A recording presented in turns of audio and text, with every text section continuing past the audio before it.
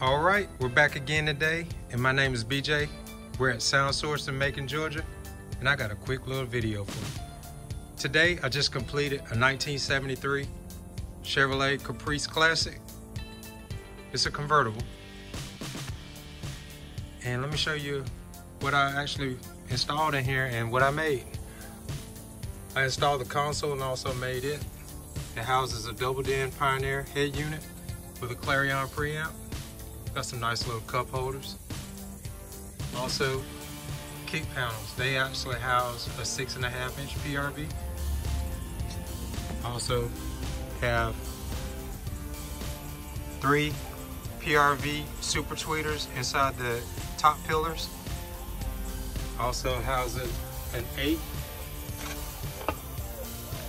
made by PRV as well. And a neat little trick. Also, they will illuminate. Flip up the switch, you got lights in there.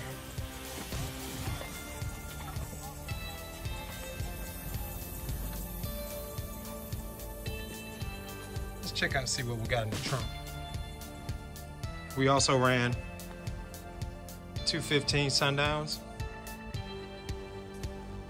energy battery, this box, 32 hertz. It brings it.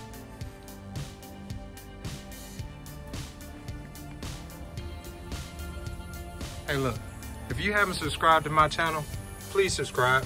I give all my subscribers 10% off, and you have a great day. Thank you.